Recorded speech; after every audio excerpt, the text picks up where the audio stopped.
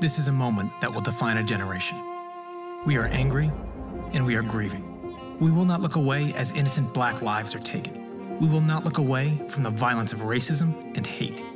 We will not follow the failed politicians and the policies of the past.